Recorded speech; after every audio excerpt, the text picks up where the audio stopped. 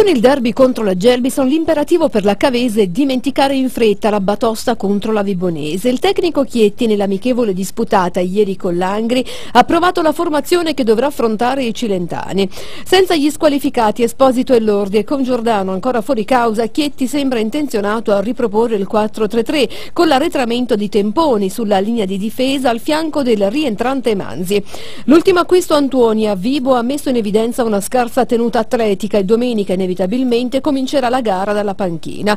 In mediana si registrano i rientri a pieno regime di Borsa e Zolfo, con quest'ultimo che potrebbe ritornare titolare al fianco di Rinaldi e del rispolverato Marrandino. Il giovane centrocampista infatti potrebbe essere la sorpresa non avendo disputato neanche un minuto con l'avvento di Chietti. La società intanto regalerà un uovo di Pasqua ai tifosi che assisteranno al derby.